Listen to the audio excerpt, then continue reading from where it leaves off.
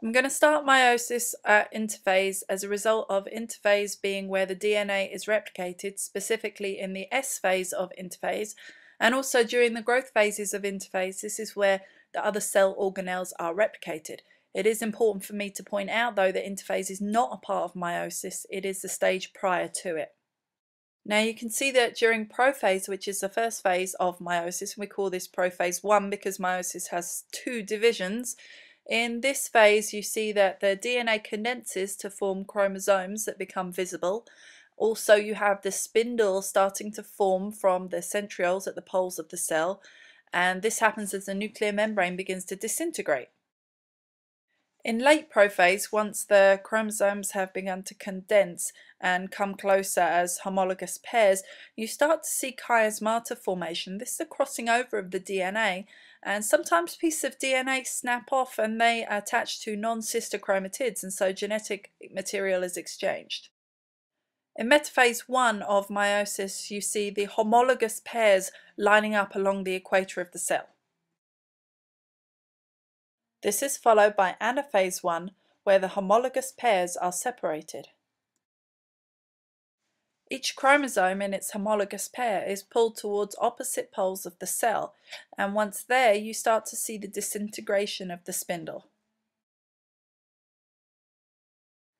In telophase 1, new nuclear envelopes form around the chromosomes that have been pulled to either end of the cell, and those chromosomes then begin to unravel to form chromatin.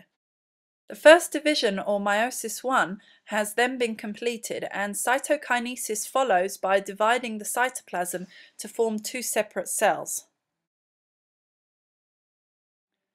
After cytokinesis comes the second division of meiosis, meiosis 2, and this begins in the same way as the other with prophase, although this time it is prophase 2.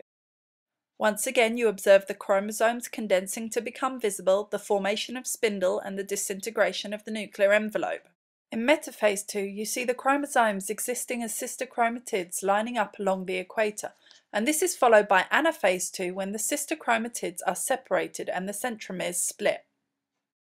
Once separated, the sister chromatids can be referred to as chromosomes.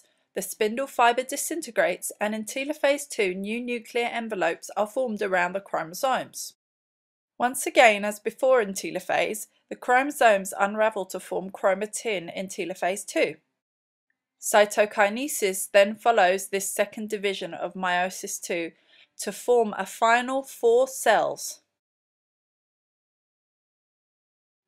Not only is each of these cells genetically different from the original cell, they also have half the number of chromosomes to the original cell. We refer to the original cell as being diploid or 2N and the four cells produced are haploid or N.